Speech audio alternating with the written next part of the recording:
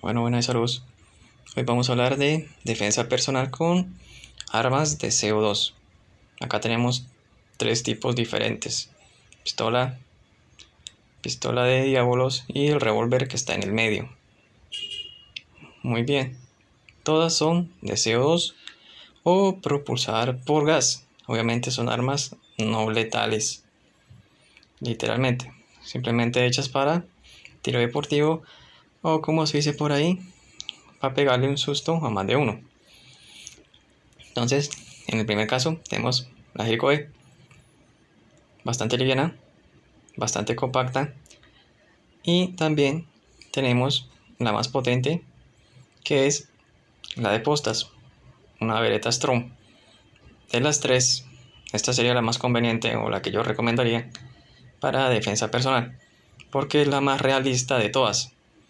La corredera se echa para atrás, tiene muy buen peso y al ser de postas, obviamente es mucho más peligroso que una simple de balines. Además que tiene una potencia muy buena que hasta a mí me dejó sorprendido literalmente. Entonces, por ejemplo, en el caso de estas tres pistolas, ¿cuáles serían sus pros o sus contras, entre otras cosas? En el caso, pues, de la Jericho B, el revólver y, la pistola Beretta Strong de Diabolos. En el caso de la Jericho B, por ejemplo, no es muy potente, típico estándar, literalmente. Es la típica pistola de balines. Lo bueno de esta arma, obviamente, a pesar de que se ve muy realista, muy buena réplica y todo, obviamente todas estas armas siempre se delatan por la punta de abajo que suelen tener. Todas la tienen, tanto la Beretta como la Jericho B y también el STL o el revólver. Entonces, irónicamente, esa es una gran desventaja en cuanto a las pistolas de balines.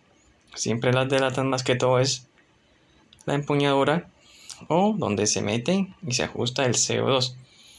Por eso estas armas, como se dicen por ahí, es simplemente sacarla, dispararla y salir corriendo y ya.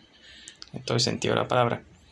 De todas estas armas, la Jericho B, por ejemplo, tiene, como todas las pistolas estándares de balines, el gran defecto de que no se le puede dejar mucho tiempo la cápsula de CO2 porque se le daña el mecanismo. Lo máximo son 3 días y nada más.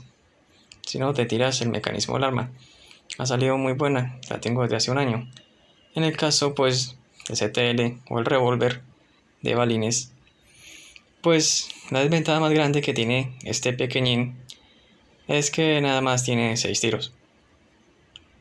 Y la otra desventaja es que si llegas a perder uno de los cartuchos, pues eso es un cuento conseguirle los cartuchos nuevos, a menos que sepas dónde buscarlos.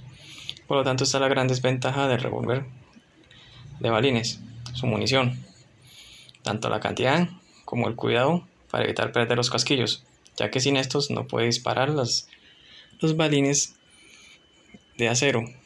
Y la más potente de todas, que es la Beretta Strong, que fue la que más me sorprendió, es una pistola de postas y es la más peligrosa de todas porque, primero, al igual que una pistola de verdad, cuando se dispara, el mecanismo se va hacia atrás como una pistola de verdad. Tiene bastante potencia, cada tiro de postas es muy potente y al usar postas se pueden usar varios tipos diferentes de copas. Por lo tanto, esa es una gran ventaja que tiene la B sobre las demás armas de CO2. Eso sí, la única desventaja que tiene esta arma es que a veces, primero, se le suele dañar el cargador, lo que tengo acá en la mano se le suele dañar. Y también lo segundo es que se le suelen atascar los postas dentro del cañón cuando se ha disparado varias veces y ya no tiene potencia. Por lo tanto, pues, en mi caso, yo siempre para defensa personal recomendaría más que todo la Beretta Strong.